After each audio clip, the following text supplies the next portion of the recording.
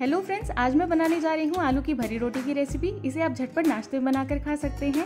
ये खाने में बहुत ही स्वादिष्ट होता है तो चलिए इसे बनाना स्टार्ट करते हैं। आलू की भरी रोटी बनाने के लिए यहाँ पर मैंने 250 ग्राम आटा लिया है और डेढ़ कप पानी यूज़ किया है। आटे को अच्छे से गूंद लेंगे। मुझे आटा गूंदने में लगभग तीन मिनट लगे हैं। अब एक बोल में हम चार आलू लेंगे, इसे अच्छे से मैश कर लेंगे। दो हरी मिर्च काट लेंगे। दो हरी मिर्च को मोटा मोटा काट लेंगे और आलू में मिला लेंगे। मैं यहाँ पे थोड़ा सा हरा धनिया यूज़ कर रही हूँ, इसे भी मोटा मोटा चॉप कर लेंगे और इस आलू के मिक्सचर में ऐड करेंगे।